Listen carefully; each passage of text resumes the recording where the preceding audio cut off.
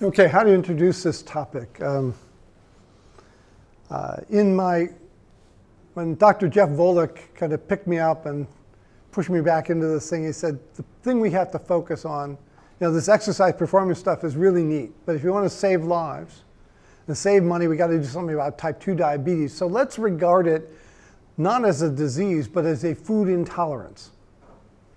What does he mean by that? He's, he's trained as a dietitian, and he said, well, if someone's lactose intolerant and they take fresh milk, or this plastic yogurt stuff that isn't even fermented, they just put gelatin to make it look like yogurt, and people are going to get their stomach's going to get upset and they're going to have nausea and you know, and the way you make that better is you just take away the lactose and they get better. If someone has gluten intolerance and you take wheat and other gluten containing foods out of their diet, they get better. So let's think of type 2 diabetes as carbohydrate intolerance. It's a food intolerance. And besides, you don't need lactose to live. Well, if you're an infant and you're breastfeeding, yeah, you need lactose because it's in human breast milk. And most infants, even if they're lactose intolerant later in life, they're, almost all infants are lactose intolerant. But you don't need that lactose once you get past the nursing phase of, of human existence. You don't need to eat gluten to survive. Those Inuit had never had any corn or wheat or barley or oats in their whole lives. They managed to live as, you know, live, and survive as a culture for 1,800 years in the modern Inuit in the Arctic. And we know that there is no dietary carbohydrate component that is necessary to be eaten in the diet. All the carbohydrate we need in our body, we can make de novo from scrap. Recycle other things like the lactate that the athletes are making. So Jeff said, let's think of it that way. And so we approached that from a research perspective you know, in the bench and we looked at the, you know, the lab results and so on, and we had to convince ourselves that this could be safe. And then the question is, can we take that to the patient? Can this be done safely? And that's really the odyssey I want to follow with you. And the next thing I want to say about this talk is, I used to be an academic. I gave up academic medicine because my hands were tied and what kind of research I could get funded to do. And I've moved through independent consulting. So now we are part of a venture funded startup, which is, we've named Virta Health. Corporation. And this is a venture funded start startup in San Francisco. And what I'm telling you now carries with it a massive conflict of interest because I have ownership stake in that country. So everything I say to you, you should look at with great skepticism. really. But everything I'm going to tell you about what we are doing and what we've done is published in the peer-reviewed medical literature. Doesn't mean it's right, but it means it's passed reasonably skeptical muster by our colleagues. And that's why we have the peer-reviewed process. So what we put in our book, you know, that's, and we, we have these books and we have our own publishing company because they're self-published books. You know, that's just our opinion, but and it hasn't passed that kind of muster. So if you buy the book, look at it with even greater skepticism. I just want to say, you know, this is controversial stuff. But our goal was set out to see if we could actually change the paradigm for type 2 diabetes. Because unlike type 1 diabetics that that Dr. Kushner is talking about, most people with type 2 diabetes, relatively years into their disease, still have the capability of making enough insulin that they can probably get along with a lot less or none of it if we get their, the intolerant component of their diet down low enough. So that's my pitch. I'm done. Thank you. The details. We talk about ketones, but realize that I, as a physician, most dietitians up until recently, in fact, currently recent, up until the current time, most of what we in healthcare professions are taught about ketones is that they're toxic byproducts of fat metabolism.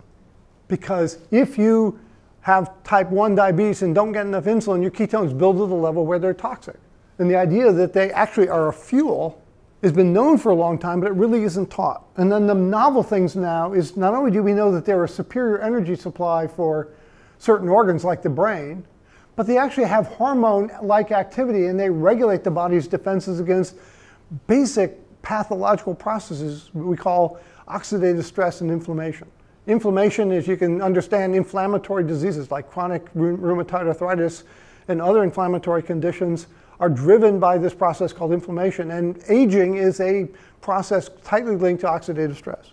So I'm going to try to put those pieces together, but I just want to, you know, our analogy is that uh, ketones have gone from up until recently as kind of the ugly duckling to a soaring eagle, if you will, uh, because now we see, understand that there are things that we've neglected to understand about them that have very significant benefits. So the first thing I want to do is differentiate between people who eat habitually eat a significant amount of carbs, you know, more than 10 or 20% of their daily intake is carbs, and most people eating a quote balanced diet are more in the 40 to 50% carb range. Differentiate between the physiological status of ketones in those individuals where ketone levels are under 0.1 to 0.3 millimolar. So remember, if, if when you folks in, in the rest of the world, except us in the US, talk about glucose, you measure it in millimolar. Normal glucose is about three and a half to, to five and a half. So this is a very low level of ketones if glucose is normally in the three to five range. But if you go on a fast or eat a well-formulated ketogenic diet, your ketones come up into, guess what, the three to five range. So there's a tenfold difference, 0.3, 1.1 to 0.3, up to three to five. However, this bad thing called ketoacidosis that you get into if you're a failure to produce insulin and you don't take the insulin, ketoacidosis occurs in the 10 to 20 range. So this is a tenfold difference. So this is, this is the difference between being in a total drought in terms of ketones as an energy and signaling supply. This is a normal rainfall that feeds your lawn and your garden and the pastures. This is the storm that, that wipes the pastures and the garden away. It's tenfold difference from here to there and from there to there. It's not a subtle difference. So in this range of over here of ketones, if you had orange juice and, and a croissant for breakfast, your value is going to be down very right down here. If you get above 0.5 and particularly up in the one range, ketones begin to become major fuel for your brain, for muscles, and also as signaling molecules having hormone, beneficial hormone-like activities in the body. Above three, there, we don't have any clear, obvious benefit, although some people studying cancer in animal models think that five to seven is maybe beneficial in terms of trying to push back cancer, but that's not the topic here. But the dangers of ketoacidosis really don't start. I mean, there's warning signs here, but the dangers don't start till you get up above seven and into the 10 to 20 range when you eat a low carbohydrate diet, even when you do a lot of exercise, which might make you, you stay in this range here. So, you know, again, as I showed you with the, the runners, after they, they finished their three hour run on the treadmill, their ketones went up, and that's a known post exercise phenomenon. But it never takes people up in this danger range. So we're talking about three different parameters suppressed ketones, what I call normal ketones, and then the dangerously high values. So um, as I mentioned, there's, this is just in the last five years that people, again, these, this, this work has not been done by nutrition researchers. This has been done by people who understand how genes in the body are regulated. You know, we all have 30,000 functioning genes, we think, functionable genes, but most of them are turned off most of the time. How do they get turned on or turned off? Well, there are signaling molecules that regulate them. Um, and it turns out that oxidative stress and inflammation, protections by the body, are turned off when you eat enough carbs to make your ketones go down in that very low range. When you bring your ketones up in the one millimolar range, these things get turned on. Is this obscure research? No, this is published in the journal Science in 2013. Uh, and then, there's a, been a landslide of research following that, uh, including the fact that, that beta hydroxybutyrate um, is not just the signaling oxidative stress and inflammation, but actually it uh, increases insulin sensitivity. And insulin, the opposite, insulin resistance is the harbinger, if you will, of, or, or the underlying physiological um, uh, sign of type 2 diabetes is insulin resistance. So here's a signaling molecule that actually, almost if it were a drug, it would be and particularly if it could be proven to be a safe drug, would be a, extremely profitable thing to put in, the body, in pills and sell. The neat thing is we can help your body make it by just take, taking out enough carbohydrates that you get into that uh, nutritional ketosis range. And then a very technical slide, but the point here is that there is a regulatory gene called the NLRP3 inflammasome and when this thing is allowed to assemble in this inside the cell, it turns on a bunch of, it's like a, a master sergeant in the military. It's turning on a whole bunch of inflammatory processes. And it is beta hydroxybutyrate is an inhibitor of its assembly. So again, we have a lot of information now that a well-formulated ketogenic diet has potent anti-inflammatory effects. We didn't know how, and now we understand the mechanism. And if you want to convince skeptics that something happens, you say, well, it seems to happen in most of my patients. Yeah, right. If you have the molecular mechanism, it gives you a much stronger argument to get people's attention that this actually really is a dependable and potentially therapeutic effect. And then for, for this talk, it turns out that just in, since 2011 and in an increasing tempo of publications indicating that underlying type 2 diabetes, and to a great degree preceding the development of type 2 diabetes, inflammation is a predictor and we think a early cause of many of the manifestations of this disease. So if we have some way of reducing inflammation, not only early on, but even late in the disease course, we may be able to understand mechanistically why this seems to put diabetes into a, this, what we call a state of reversal. And again, there's a lot of discussion. Is it, are we curing it? Absolutely not. Is it remission? Well, remission usually implies a long-term effect. So what I'll be talking about uh, in terms of what we're able to do, demonstrate we can do is what we call reversal. So one of the points that comes into any discussion about a ketogenic diet is people say, well, what are the macros? What, how, what percent of carbs, fat, and protein should I be eating? And for people who have weight to lose, and I'll show you data from two different studies on this, and you saw it from the, the ROTC study on the student soldiers at, at Ohio State University. When you, somebody has extra body fat and you put them on a well, get them to eat a well-formulated ketogenic diet, which means they cut their carbohydrate intake down to something in the range of 30 to 50 total, 30 to 50 grams total per day. Eat protein in moderation and then eat fat to satiety. We just say eat enough of these high fat foods or dressings and sauces that you feel you've had enough to eat. They undereat calories compared to what they're burning, and so they lose weight. But as people do this over many months, as the body loses some or much of its excess body fat, our natural instincts say, eat more. And we have something that, for want of a better term, we have to call fat hunger. How do you know if you have fat hunger? If you open the fridge and the butter looks good. That's fat hunger. If you do something really extreme, like go out and you know, hike for three straight days, and then come home on you know, on Friday, Saturday, and Sunday, and come home on Monday, and you know, your muscles are sore, and you're kind of fatigued, and you eat pretty well. And the next day, on Tuesday, everything with fat in it looks good. That's fat hunger. Um, so people will adjust their fat intake until eventually they'll reach a new steady state.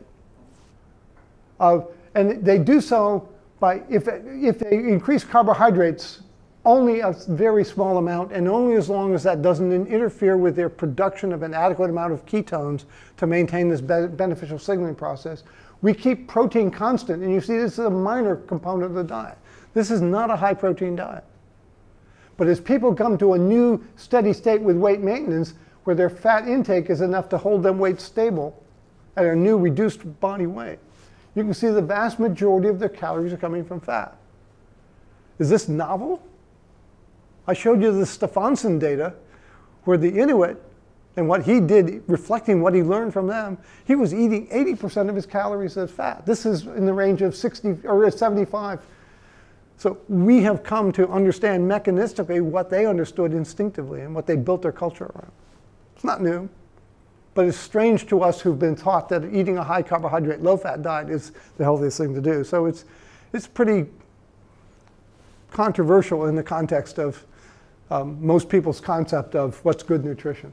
So what does this look like? You know, people say, well, it's all just bacon and sausage. And heck, you know, you know, we're not into it. We're not dealing with a, a barren landscape where there are no fruits and vegetables. The question is what and how much. And so when your weight's stable, realize when your body fat isn't contributing to this, and so you have to eat eating the fat, protein is moderate, carbohydrates kept low, the majority of calories come from fat, but there are these things, these minerals like potassium and magnesium that we need to maintain healthy muscle and, muscle and heart function. Much of that has to come from vegetables, a small amount of berry fruit. Know, again, you can have some fruit, but you know, 100 grams of berry fruit is going to provide 5 to 10 grams of carbs per day. So it can be a component of this, but it can't be a half a kilo of berries. uh, because you're going to get way too much sugar and you're, you're going to drive your ketones down to the point where they're no longer uh, providing a beneficial function. So we normally provi provide somewhere between three and five servings of, of non-starchy vegetables in cases where people can tolerate a little bit of berry fruit, nuts and seeds. And you can see there's a wide variety of here, things here, but although the, there's a lot of volume to other things, the fats are going to be the, from coconut, from olive, from avocado, butter, cheese. Those are going to be your primary sources of calories.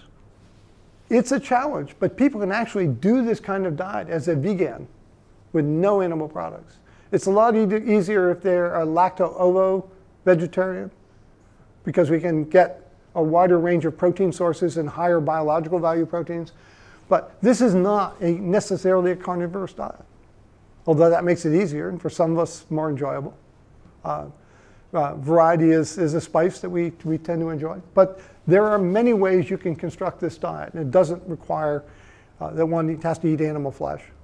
Uh, and when, it, when animal products are consumed, they're consumed in moderation.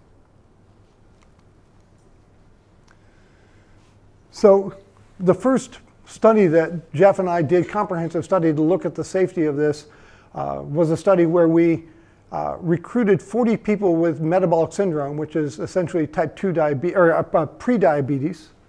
Um, and what we did was we randomized half of them to a calorie restricted 1500 calorie per day diet. And that was a low fat diet where, and again, this is, you can say, well, the, you know, the, the protein is, is kind of high here and uh, and such. But this is a 1,500 calories of intake. This is not what they're burning, this is what they're eating. And then the other group was told to eat a low carbohydrate ketogenic diet. And this was not calorie restricted. This diet was, um, we told them to eat to satiety because we knew when people who were overweight, and again, these people had a high BMI, extra body weight, that they would eat 1,500 calories a day in the first few months when they started this. So it was matched in calories by this side being a restricted diet, this side being uh, uh, eaten to satiety. And we had them do this for three months. And the point I'll make here at the bottom is to just point out that in this 24% fat here, whoops, this 24% fat diet, it contained 12 grams of saturated fat. For the group eating 60% of their, of their, what's on their plate is fat, they were eating 36 grams of saturated fat. So three times as much saturated fat is here and here. And the meaning of that will become apparent on the slide after this one. This shows the weight losses of the two groups, realizing they're living as outpatients. They're not in a metabolic research ward. We weren't doing the daily ketone testing like we did with the ROTC recruit study. Uh, we just measured their ketones from a blood sample at the start and again at the end. But notice the weight losses here that there was double the weight loss for the people following the diet, this ketogenic diet eaten to satiety. Now again, the critics will say, well, you lose a lot of, of water and you lose muscle mass when you're on a ketogenic diet. So, you know, the difference here is it really isn't physiologically important. But it turns out that only one kilo of this five kilo difference was from either body water or lean tissue. This was by body composition analysis, this was much more body fat loss in this group. This shows the individual losses, and notice that the greatest weight loss in the calorie restricted low fat diet was equal to the mean average weight loss for this group. So it wasn't just a few people, these few people lost a lot. The, the weight loss was greater and the body fat loss was greater here. But more importantly, because these people had what we call prediabetes or metabolic syndrome, outlined in green here are, are some of the key components of metabolic syndrome, increased abdominal fat, elevated blood triglycerides, reduced uh, high density um, uh, uh, cholesterol, and impaired glucose tolerance. And you can see that the improvement in body fat in red, improvement in triglycerides, and which going lower here is better, going higher for HDL is better, going lower for glucose is better. Those four components of prediabetes and metabolic syndrome all got much better in the people who are following the ketogenic diet. Remember I told you that the group which was eating the ketogenic diet were eating three times as much saturated fat. Now, pretty much everybody here has heard this old, old um, uh, uh, soundbite that you are what you eat, right? So if you eat three times as much saturated fat, you should have three, much, three times as much saturated fat in your blood. This is the change in fat, saturated fat. The people who ate the low fat diet, their saturated fat levels went down. But here's the paradox the people who ate three times as much saturated fat, their reduction in blood saturated fat levels were more than double as the effect. How could that be? Anybody want to guess? I gave you the answer in the previous talk. Keto adaptation more than doubles the body's use of fat for fuel, not just during exercise, but at rest. This stuff becomes the body's preferred energy source. And it doesn't build up. It goes down because it's being burned more rapidly. So being keto adapted gives your body permission to dispose, dispose of saturated fat, which means I can't, you, it doesn't mean you can eat it in, in, with impunity in every mix of foods. You know, if you have a, a croissant made with butter, with butter on top of it, you know, the, the carbohydrate in the croissant is going to block this benefit. But if you're keto adapted, you can get rid of it. It's not going to build up, it's not toxic. And then I mentioned inflammation. People say, well, what do you test for inflammation? Well, there's this whole alphabet soup of inf inflammation biomarkers. And we tested just 14 of them. of the 14, seven didn't differ between the two groups. This set of alphabet soup biomarkers didn't differ. But of the other seven, all of the other seven were dramatically improved in favor of the ketogenic diet. That nutritional ketosis has a potent anti-inflammatory benefit. And it's a lot safer than any drug you can take that will reduce inflammation this much.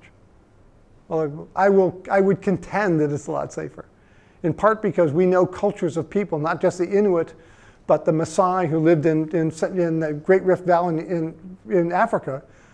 We know they lived for over a thousand years as pretty much pure herders and didn't eat, particularly the, the warrior class males, didn't eat any vegetable products uh, and it didn't seem to harm them, and, and, they were able to grow much taller than most other uh, cultures living in Africa. Uh, so again, a potent anti-inflammatory effect, and we've confirmed that in multiple studies. This was just the first one to do that. So moving on to type 2 diabetes, um, I want to point out that there is history here. Again, this is not novel. As Dr. Kushner pointed out to you, before we had insulin, the only treatment for um, people who had whichever type of diabetes, type 1 or type 2, the only treatment was carbohydrate restriction. And we know that, that diabetes, not just it, uh, childhood, but adult uh, diabetes has been treated traditionally with low carb diets before we had insulin. And my mentor, Dr. Bruce Bistrian at Harvard, um, did this study and published. This is the first modern study that I know of using a ketogenic diet to reverse type 2 diabetes. And I don't have a table because back in the 1970s, you just published the, showed the, the data from each study. So this is one patient whose sugar started 300 milligrams per deciliter translates to what, about 18 millimolar? So very high blood sugars, uh, obese patient in a metabolic wards over 40 days she started out on insulin, was on insulin for 19 days. They stopped the insulin, and when they, her glucose came down, she stayed on the diet, and her blood sugars pretty much came down to normal just on diet alone with, after withdrawal of insulin associated with weight loss. And Dr. Bistrian had seven of these cases, and he published it in 1976. And like my 1980 and 83 papers on diet and physical, low carb diets and physical performance, this is sat there unrefuted, but it you know, was not respected as real science more recently, a physician uh, scientist in Philadelphia, uh, at a university in Philadelphia, Pennsylvania, did a study where he and his team took 10 people with type 2 diabetes, put them in a metabolic research ward, and gave them a buffet and said, eat anything you want from this buffet. And it was a, a, a buffet of a, a mixed carbohydrate fat diet. And they could choose what they wanted and they chose to eat about 3,100 calories a day, which is appropriate for the fact that they were very severely obese. You know, their BMI of about 40 would represent have being at least 100 pounds overweight. And they ate that, that diet for a week and stayed weight stable. And then they changed the buffet. They, they gave them and they said, tomorrow you're going to have a different list of foods, but still eat as much as you want. But they took the carbs off the buffet. And so the average person went from eating a few hundred grams of carbohydrates a day to using, eating 20 grams a day and they spontaneously reduced their calorie intake from 3,100 to 2,100 calories per day. And they started losing weight. And then they measured over at during the high carb diet and then the low carb diet, they measured blood sugar values all across a 24 hour time span. And so these are frequent blood sugar values at baseline. And, and again, normal values are, are under six. And here you can see they range from 8 to 10. So this is hyperglycemia with very high insulin levels. And just two weeks later, when they'd lost two kilograms of body weight, so they hadn't normalized their, their body weight at all, and they measured their daily their blood sugars across the day, there was a slight spike in the morning called the dawn phenomenon, and then their blood sugar stayed pretty much normal. And most of their medicines had been withdrawn. In just two weeks, they basically made these people from poorly controlled type 2 diabetes to virtually being non diabetic. And the fascinating thing is the amount of insulin in their blood was much lower and they had much better glucose control. And the only answer to that explanation that is they dramatically improved their um, uh, insulin resistance. So it's basically in two weeks they virtually re reversed this, you know, quote, chronic disease. Uh, the problem with this is that when you have people on diabetes medications, so it says here that medication, medications were reduced. In two weeks, they had to take them off of insulin and other medications. You can't do that by putting a person on a diet and say, come back and see me in two months which is what most of us as physicians working in an office practice will say. I mean, uh, you, you, you can't see that person every other day or every day and say, change your medicine. It just that doesn't work. So you can do this in a hospital where they're locked up in a research ward, but that's frightfully expensive. You know, the real cost is thousands of dollars per day to manage patients in what's basically an intensive care setting to take them off their medications. Up until now. So this is where this thing called Virta comes in. And I didn't come up with this, I, came up with the diet idea along with Jeff Volek, but the, the idea of how do you make this safe in an outpatient setting came from some Silicon Valley people who know how to build websites and, and communicate directly with people on a real-time basis, you know. It used to be, remember when the phone was on the wall with a cord on it? And you might use it three times a day, and now you look at it every five minutes? So you take that device, that's the technology. Take that device and you turn it into a communications device for interacting with patients. So we put our patient in the center of our diagram here, so we're patient-centered. They have a, a, a, a uh, app on the phone. They have a glucometer to test glucose. They, use the same device to test ketones. They're in real-time touch with a coach who's specially trained by us. We have our own physicians in our clinical practice who are in touch with the coach and the patient. And so we have this tight communication loop. And when we take them off most of their carbs and we tell them how to do it, and we have to adjust their medications and reinforce the fact this is safe, you know, just keep doing it. It ends up they, when we track it, their community, the patient is communicating with, their, with our team 3.1 times per day. There is no way an office-based physician can do this in a sense, we're doing outpatient intensive care. And this is absolutely necessary for safe medication withdrawal. This is not something you would do casually and say, come back and see me in a few weeks or a few months. Uh, this is a, um, it's a bold new way to practice medicine. And the question is, can it be safe? Oh, by the way, and yes, they, we have a community, patient community, uh, that, where they interact with each other and support each other. They get to look at little, you know, little talking heads like me that tell them all about all this boring details of, you know, make sure you eat your vegetables and don't eat too much fruit and that kind of stuff. So, by the way, we have permission to show all these pictures because all these people have given us on-camera testimonials that of the fact that this worked for them. Testimonials don't prove anything. Statistics are important. It's not just how many successes you had, but how many people did you try to get that many successes. If 10% of the people do well and 90% of the people don't do well, you can still have lots of testimonials. So we started with 262 people in a small town in um, uh, the state of Indiana. And these are 262 people with type 2 diabetes. They averaged age 54. They were very overweight. Uh, Two thirds of them were female. And we did not, this is not a randomized trial. We, because you can't blind people to which diet they're on. They know which diet they're on.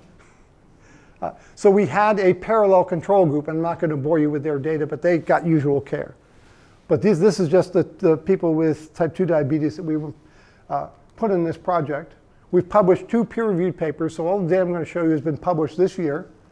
Uh, and Dr. Sarah Hallberg, uh, who is a remarkable physician in Indiana, who came to us and said, "We, you got, I've been trying this, this diet you, you've written about in your books, and it's really very effective, but I'm concerned that some of the things that are happening are pretty dangerous, and we got to check this out." So uh, she came to us and said, "Let's do this."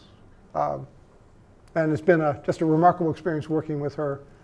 So the first thing is, can people stay with this kind of program? If you give them this thing in their pocket, do they get bored with it and say, I don't want to do this anymore? Our retention rate was 83% at one year uh, for the people who enrolled with, type 2 diabetes enrolled in our intervention. Can they stay in nutritional ketosis? Well, the more insulin resistant you are, and insulin resistance is the underlying factor um, that, that defines type 2 diabetes, they're very insulin resistant. They're very hard to get into ketosis. And yet you can see here that this is the ketone value initially over, the, this is in the first few months. And remember, 0.5 is our threshold, our arbitrary threshold. And they stayed in it on average in nutritional ketosis out to eight months, and they still had much higher values than if they were eating a lot of carbs, which would be down here at eight year. So not just continuing to work with us through our virtual program, because again, they're getting, this is telemedicine. But they stayed with us uh, and were able to significantly restrict carbs for the duration as a group. What happened to medications? Remember, I said in the other studies when this has been done, we had to take away people's meds. And these are the medications that we took away. So the, the dark bars here are meds that were stopped. The blue-gray bars are reductions. Light-colored bars here are no change. This is um, uh, increase, and then new medications here. But the most dangerous medications for hypoglycemia are sulfonylureas and insulin. And you can see that we completely stopped the sulfonylureas. We cut about half the people, the people stopped their insulin in half the cases, and almost half the cases they reduced it. So, and then there's uh, this group called SGLT2 inhibitors, uh, a significant number. This, there were very few in this class of medications, but you can see that more than half the medicines were discontinued, and in many cases, the, the other medicines were reduced. The ones that we didn't change, particularly metformin, which is uh, not just, it, it, has a modest effect in lowering blood glucose, but it is now considered a, a medication that prevents the people from developing type 2 diabetes. So if we had people who had diabetes, we're not going to take them off this medicine, which is going to help keep them in a reverse state. So we don't take that away. But the rest of them, for most of them, we had a dramatic effect on medication use. And by the way, that translates into a dramatic reduction in the cost of care. What happened to diabetes control? If we use the most rigid standard for percent who got off of all medicines and had blood sugar under, or hemoglobin A1C under the diabetes range, it was 47%. Um, and that was for all, all comers who entered our program. If you calculate from the, of the 83% who stayed in the program at one year, the reversal rate was 60%. The standard of care, the result typically is about 1% in any one year will achieve that result. Because this is considered a chronic progressive disease that can't be stopped. And this is in our first attempt with, I would say our, our initial app that they're getting is a fairly crude tool. We can refine that a lot. But I won't make any wild claims of what we'll do in the future. This is a remarkable result. And on average, their hemoglobin A1C dropped from 7.5 to 6.4 here to 6.2 here at, at one year. What happened to their weight? Now remember, we tell these people from the get-go to eat to satiety.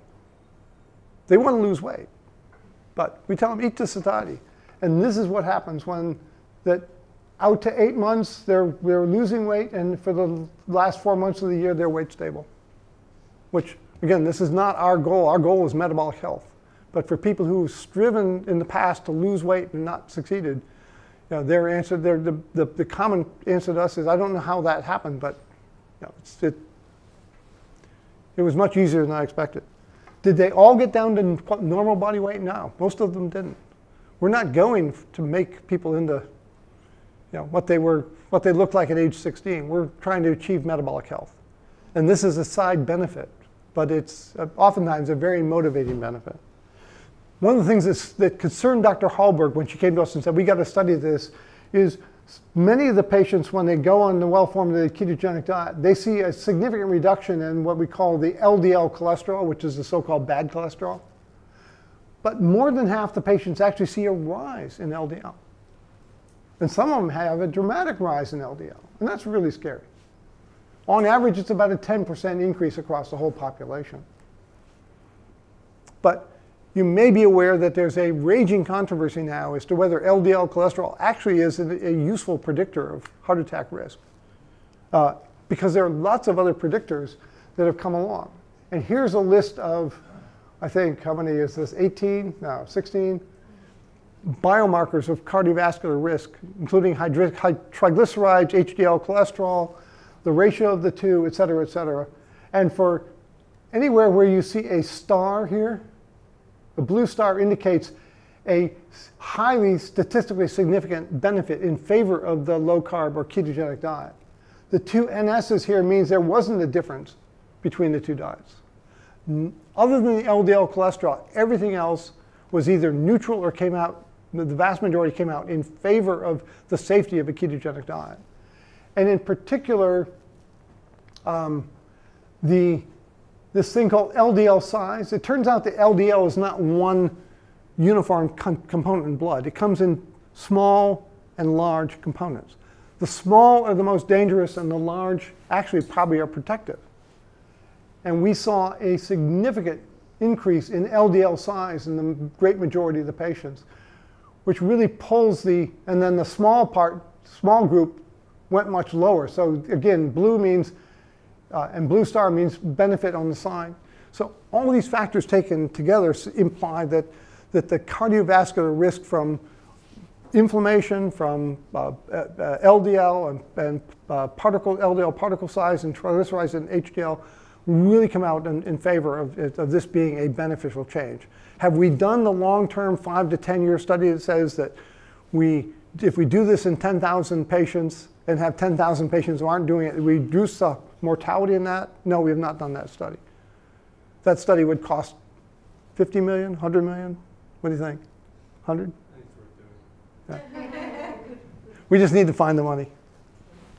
Uh, but as biomarkers go, this is a pretty strong argument. So here are data from three studies published this, just this year. The blue line here is our study, and this is our data out to one year. This here, green line was done in northern UK and Scotland called the DIRECT study published in the Lancet earlier this year. And they used a packaged formula, no food, just packaged formula for three to five months. People lost a whole lot of weight initially, but as soon as they added back real food and they said, you know, eat a, eat a healthy diet. They didn't say eat a ketogenic diet. You can see from the time they transitioned to the to the uh, real food carb contained, it started gaining weight. This red line here is closer to home. This is a study done by uh, a group here in Australia, in Adelaide, uh, uh and uh, uh, with Dr. Manny Noakes and, and Grant Brinkworth. And they did a study with a initially a ketogenic diet, but then again added back carbs. Said, you know, we don't think anybody can follow this long term. And see what happened. And the effect on Hemoglobin A1C, this is our values here. You can see that the UK study went down sharply, uh, but was higher than ours. And the study here in Australia actually had, had good results. Went from 7.3, ours started at 7.6, came down about where we did, but again, they're on their way back up. Am I going to show you our two-year data? No, because we haven't published it. Uh, but we've completed the data and we're, we're about to submit it for publication. Uh, and I'll just say that we're, we're pleased with the results we've seen, and maybe if I come back in a year, I can share that with you. So the pros of this is that ketones, unlike what we've been taught for a great deal of, of, the past decades, is actually has physiological benefits and, and positive signaling effects. The, the, the dangers of this is that if you try to do a well-formulated ketogenic diet and people on medications for diabetes, you're likely to do harm if you don't aren't able to change that medication in response to the prompt changes very quickly. Um, And I would, I, as a conservative internist, would say we need to have two year, and show you two-year to five-year data before we would say this is going to become the standard of care. But it, clearly, we have a potentially very powerful tool, not to treat type 2 diabetes as a chronic progressive disease, but as a reversible disease. Um, and the other important thing is outpatient nutritional ketosis is really difficult to sustain because everyone around us tells us, hey, that's dangerous. Uh, and even our physicians will sometimes tell us, oh, you shouldn't do that, it's dangerous. If we can provide a adequate real-time support system, so this is like the technology that Dr. Kushner is talking about, you have you know, the, the, the pump delivery systems and, and insulin delivery, and you get, but if you take the people off the roller coaster and you give them that long sustained thing, you get a different outcome. And if we provide this kind of patient communication tool where the patient is in the center of the communication, not at the far end of the communication process, it can have very, potentially very significant effects on reversing this disease. And this is the group that, um, on this side of the people actually did, in the clinical team who did the work, centered on Dr. Sarah Hallberg here, and then this is the group that uh, wrote up the results and tried to get it published, which was a, a challenge in and of itself. So thank you, and if we have time, I'll take questions.